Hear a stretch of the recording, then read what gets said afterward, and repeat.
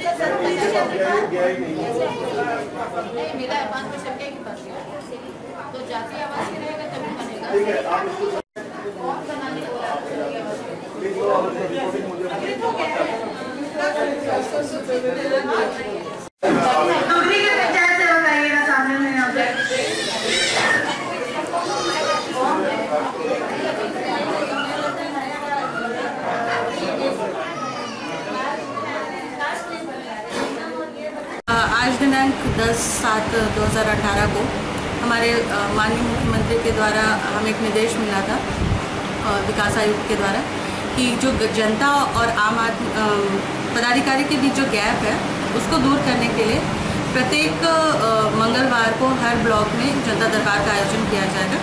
और जिसके आलोक में हमारे उपायुक्त महोदय के द्वारा मंगलवार सेकंड मंगलवार को गमरिया प्रखंड में प्रत्येक मंगल सेकंड मंगलवार को गमरिया प्रखंड में यहाँ पर जनता दरबार लगाने का आदेश प्राप्त है। और आज के जनता दरबार में प्रखंड स्तरीय जितने भी पदाधिकारी थे, वो उपस्थित थे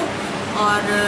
ग्रामीण भी आए थे और जनप्रतिनिधि भी आए थे और उनके द्वारा उनकी जो भी समस्याओं समस्याएँ, चाहे वो पेंशन से लेके हो,